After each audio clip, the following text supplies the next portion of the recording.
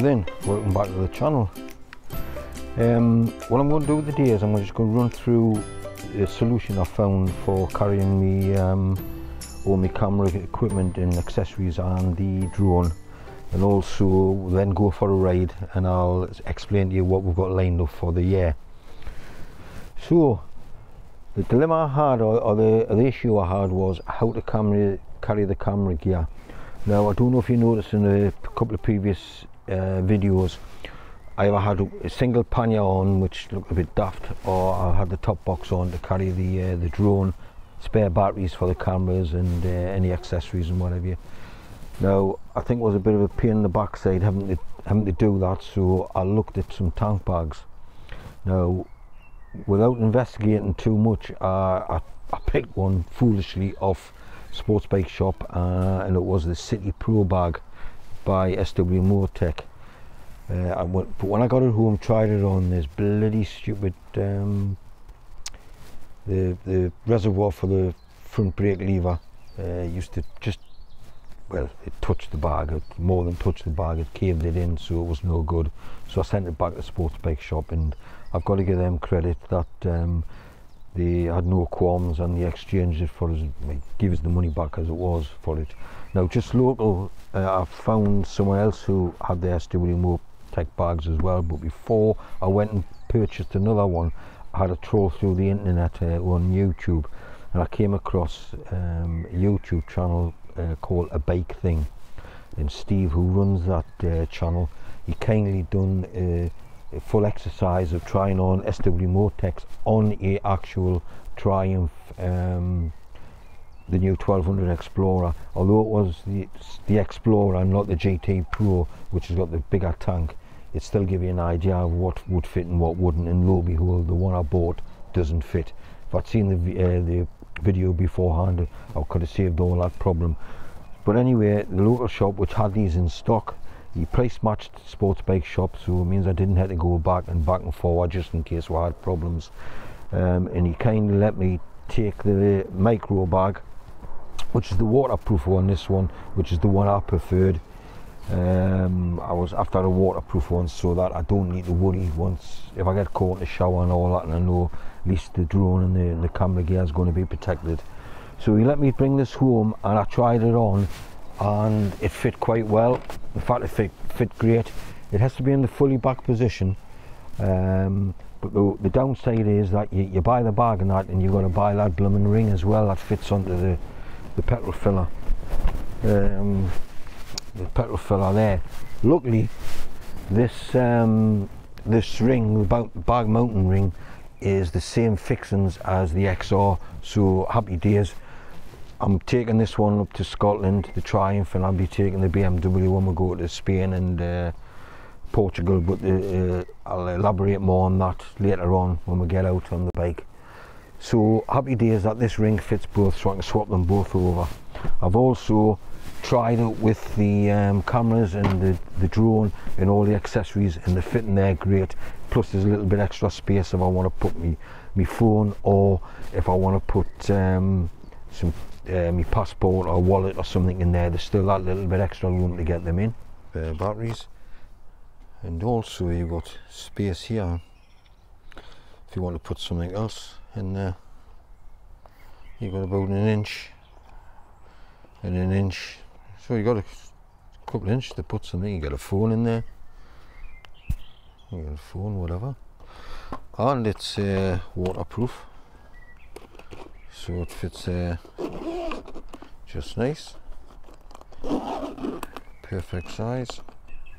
Magnetic catch. And there we are the micro waterproof. So I got this one and he said if it didn't fit I could take it back. I get my money back or I can try a different bag. Because I think the the normal the non-waterproof version of this is slightly smaller in its dimensions um, because I think it, it expands uh, the way this one doesn't with it being uh, fully waterproof. So that, that was great. So I'm happy with the bag now so I'll give that a try when we go up to Scotland. And it means I don't have to back, uh, carry around with a, a silly bloody uh, pannier on the on the side. So what we'll do now is I'll get I'll get me I'll get me helmet, helmet and we'll go for a spin and I'll, I'll what I'll, I'll do is I'll take you up the it's a favourite little run of ours um, up to a place called Falstone which is just at the base of the uh, Kielder Reservoir and we usually go there for a breakfast or a, or a cup of tea or whatever it depends what time of day we actually hit there. Um, but it's also a favourite run out of ours just just for if we just fancy going away for a, an hour or so uh, not too far. Um, it's about 35 40 mile up the road so you can get there and back in an hour and a half. And if you enjoy some of the content we put out just uh, hit that like button subscribe and uh, hit the notification bell just to get a notification when we will put um, new videos up we're going on the B6318 which is the old military road from Heddon heading towards Chollerford so the first two or three miles just outside of um, coming out on the wall. Are pretty uneventful steady way until you hit this point here which is the you're crossing over the A68 just going straight over and heading towards Chollerford and hopefully the traffic uh, turn up off up the uh, A68 you can see on the right hand side where I'm saying as you can see I hope you can see there's a ditch to the right hand side of the road. That's the actual vallum the vallum is the ditch that the uh, Romans built on the north side or the enemy side of the uh, wall and that runs the full length of this road where this road travels on to right across the country towards Carlisle. Now as we're dropping down in a place called Chollerford you can see the, the remnants now of the Roman wall. Just past them on the left I think some more further down here on the left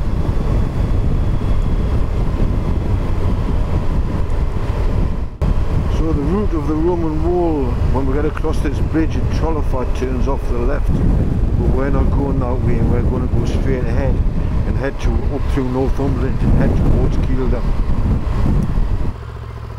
There's a quaint little bridge here over the uh, the River Tyne. Little weir there. A lot of uh, wild water swimmers usually come here on a Sunday morning. Now that hotel on the right, the George, is where the uh, French football team stayed when the Euros were held uh, in England a few years back now. So as I said before, we're heading up through Northumberland here, heading towards Kielder.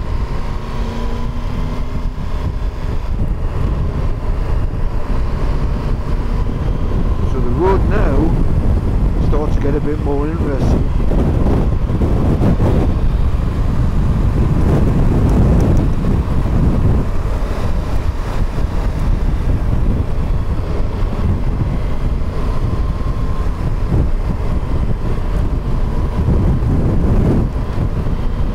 So we're heading towards a place now, a place called Wark.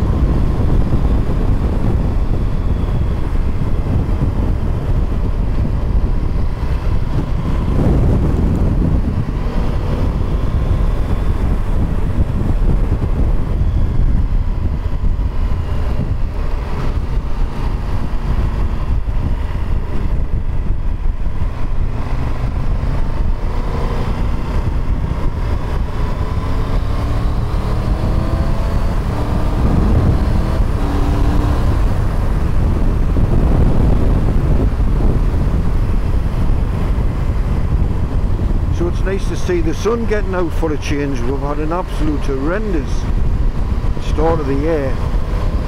It's rained virtually every other day. The ground's never really dried out. It's just starting to dry out now. And we're heading into, into May.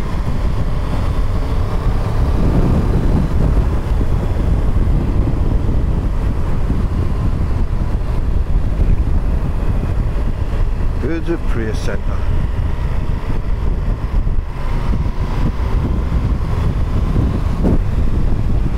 So what what have we got lined up for you this year? So up to now we've got um, in England we have a a bank holiday at the back end of May. We'll have one at the beginning, the one at the back end. Why I'm saying England is because I don't think Scotland does. They have an extra bank holiday for St Andrew's Day.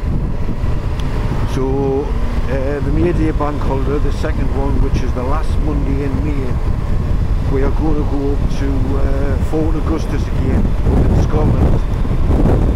We're going to spend three nights there, which will be the Friday night, Saturday night, Sunday night, and come home on the actual bank holiday Monday.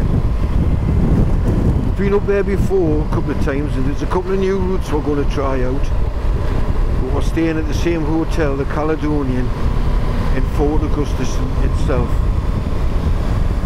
So that's the first part of the year and then we've got planned for the first two weeks in July. We are going to travel down to Plymouth get the overnight ferry the Brittany ferry across to Santander. We're going to spend five nights into uh, Potes just have a little tour around there. Once again we're staying at a place we usually we've stopped in before which is the apartment that we uh, usually go to there. So we're staying at the apartment for five nights and then we are going to head down towards Portugal, the northern part of Portugal, a place called Chaves, Chaves or Chaves, don't know how to pronounce it, C-H-A-V-E-S. Um, and we're going to spend eight nights there got quite a few routes planned around there so we'll take some uh, take some video we'll get things posted up. But both our trips away. And then the back end of August which is another bank holiday here in the UK we are going to not on the bikes this time but to watch bikes. We're going to the British uh, Superbike uh, race meeting down at Cadwell Park. So I might do a video of that weekend, I don't know yet, see how things go. So that's, we've got three things lined up at the moment. Just as we're pulling to Wark. Right, we're just dropped down now into Bellingham. Which is another little quaint little bridge across the River Tyne. Uh, once we get down into here, across the bridge, we turn a sharp left and follow the route of the Tyne all the way up towards uh, Kielder Reservoir.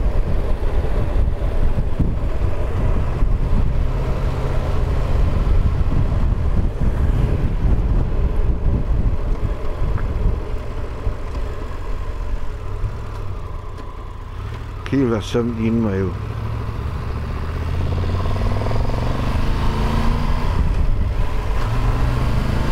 There's the bunny lads.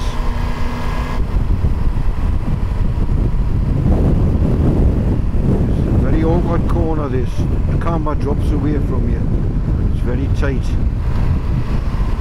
But a few people have been into the uh, through the fence into the into the field there.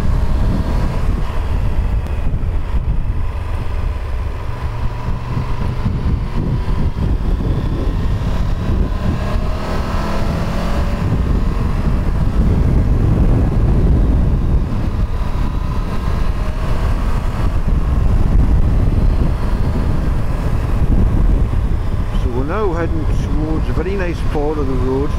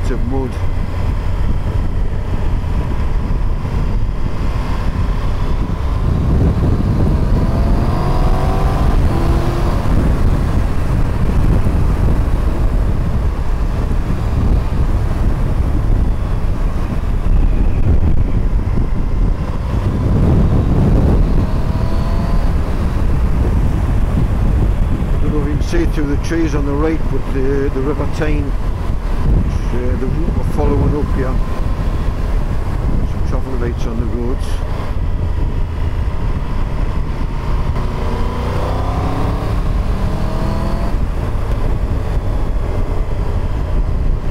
Sure they were on green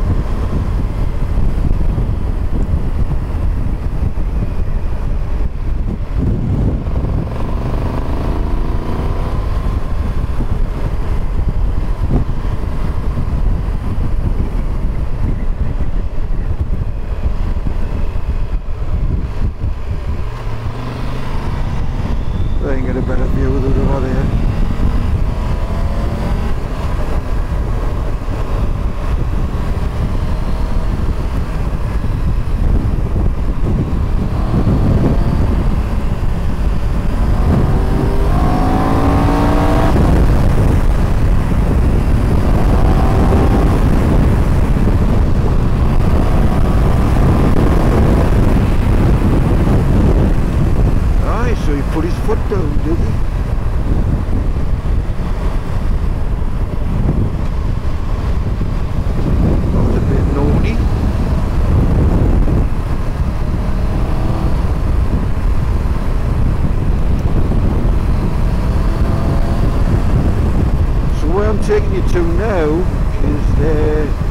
Favourite little coffee that we'll, I'd say majority of the time we'll pull into if we're coming north.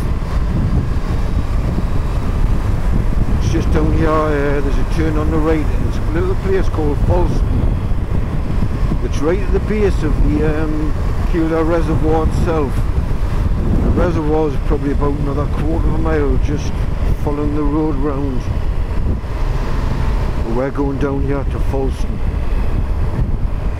It's an old, um, I don't know if it's a schoolhouse or an old uh, little church or chapel. But a fantastic breakfast here, really nice. Full Englishes. Full English breakfast, here we come.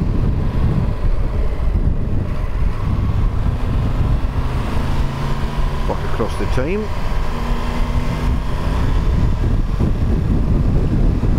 Falstone.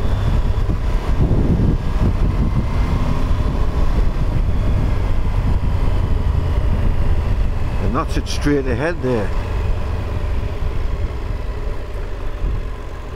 Tea room car park round the back. Falstone Old School. So yeah, it was an old school. Not a church. Nice little quaint little place. Come here, see what they've got on quite hungry actually. I might uh, I might go for a nice breakfast, if not a cup of tea.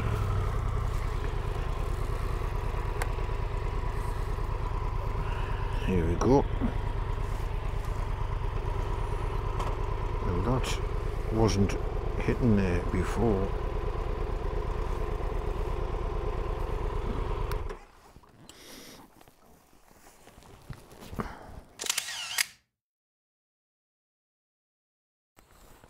Right.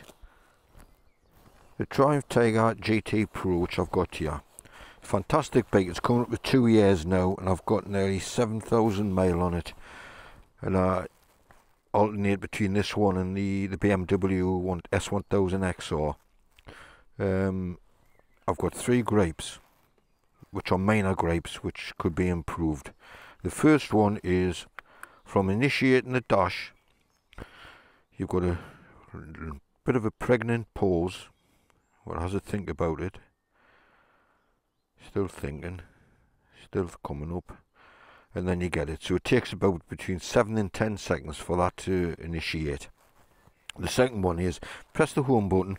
You've got a little sub menu comes at the comes at the side and it moves the the um the rev counter and whatever the information across, which looks great. I, I quite like the look of that. The only problem is you cannot customize any of these information. What I would like to have is is obviously the range to empty. You can have your average mileage, but I would like to be able to put the trip information, i.e. Um, trip one, how actually far you've gone or anything else it's dead easy on the BMW. It's along the top of the screen there, and you just you just flick through the menu button on the on the XR, and you can change it. Or you could have the old odometer on here, but you cannot customize anything on there. So that's gripe number two. If they'd done that, it would be great. And gripe number three is the heated grips. The heated grips are, I would say, warm, not hot, when they're on full power number three, um, compared to the BMW and actually the Ducati, the, the Multistrada has got really hot grips as well. This one here, they're probably just, just medium, medium warm. So they could be doing with improving. But apart from that, I like everything else about it. So it has got the low-end facility on this if you press and hold the home button just for a couple of seconds you see coming up in the in the screen there the flashing spring I can actually feel the suspension dropping now. It's dropping right down. I'm flat footed both sides. I'm 5 foot 10 with an inseam of 32 inches. And I'm flat footed and my knees are slightly bent actually. Now it'll stay like that um, until you reach about 52 mile an hour and then it'll automatically go back up to its preset level. The only downside of it in the new BMW, uh, the GS 1300, it's an automatic. It automatically lowers when you get below speed. This one you've manually just got to press the button. If you remember to do that, everything's okay. So let's have a look up to um, towards the the reservoir.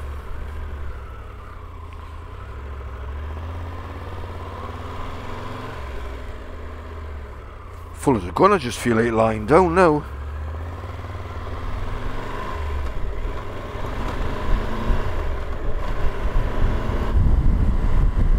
Ladder way up.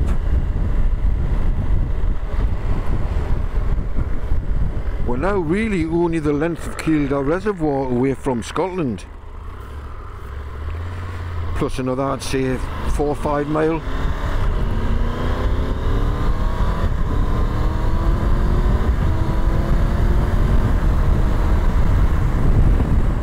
See the back of the reservoir just over there. See it on the sat nav.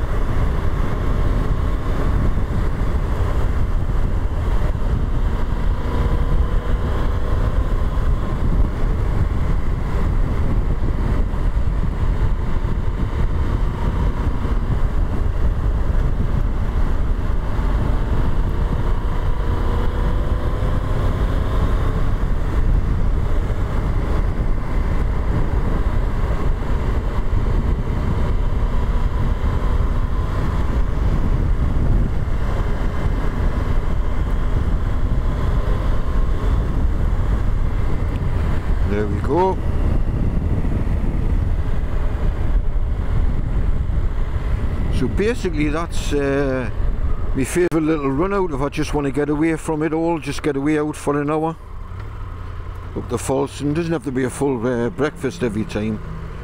Sometimes I might just get a, um, just a cup of tea or a cup of coffee. So this is the North Tyne which goes down and it eventually um, meets up with another branch to form the River Tyne itself.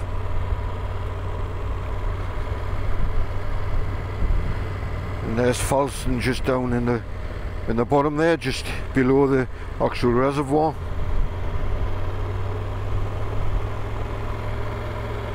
I think it goes on for about another 27 mile round to the to uh, Kielder itself, Kielder village.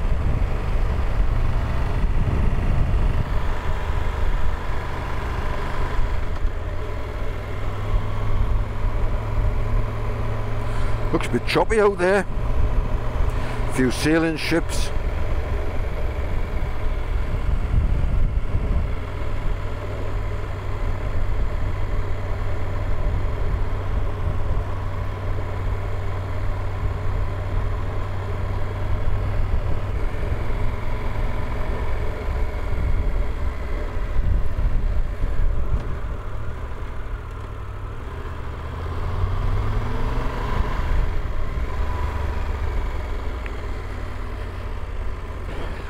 Park, little restrooms and what have you.